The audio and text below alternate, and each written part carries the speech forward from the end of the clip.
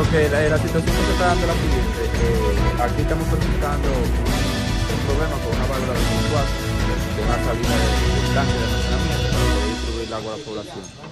¿Qué pasa? Tenemos la necesidad de cerrar la válvula, pero la válvula presenta unos problemas. Se mandó a San Pedro a realizar una pieza que se necesita colocar en la válvula, se trajo de San Pedro y se colocó. Pero necesitamos un tiempo para ir graduando la pieza, porque hay que colocarla y ir haciendo pruebas hasta que llegue al punto tope donde trabaja normal.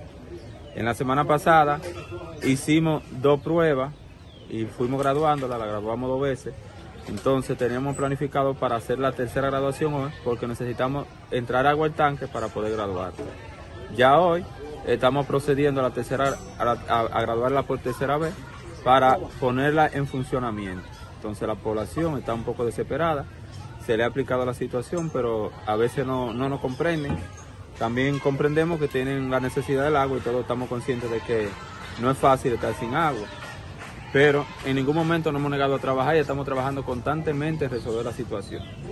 Estamos en eso, probablemente tenemos un 90% de posibilidad de dejar resuelta la situación hoy. Mi nombre es Celestino Hernández.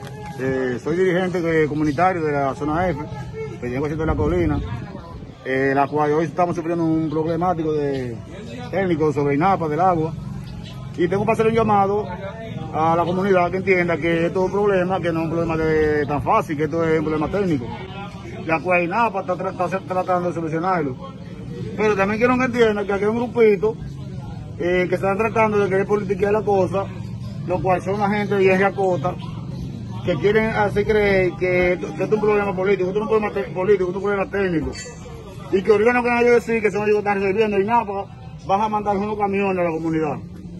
A regalarle, a regalarle agua hasta que se resuelva la situación.